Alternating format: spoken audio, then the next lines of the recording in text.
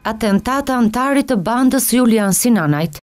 Ky është 49 vjeçari Marion Mitro, i cili u qëllua me një armë Kalashnikov. Ai u plagos me dy plumba, një në kokë dhe një në krah. Krimi ndodhi teksa ishte duke lëvizur në këtë trotuar, pranë bibliotekës të qytetit. Autorët e qëlluan nga një makinë në lëvizje.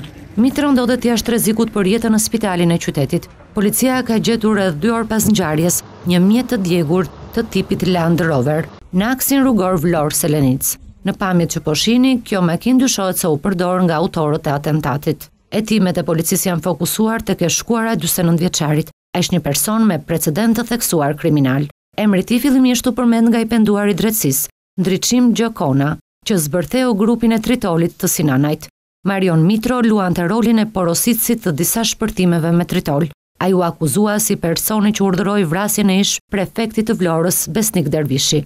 Në mjetin e këtij të fundit u vendos Tritol, i cili u zbulua nga efektivët e Gardës kur makina ndodhej brenda rrethimit në kryeministri. Forcat e Xhenios e çaktivizuan lëndën plasëse. Marion Mitro është akuzuar dhe për vendosjen e eksplozivit në banesën e ish-deputetit demokrat Ardian Kollozi. Ai u arrestua në njëzet e shtatë janar të vitit dy mijë e katërmbëdhjetë, Apeli i Krimeve të Rënda e dënoi me tetë vite dhe la burgun vitin e shkuar.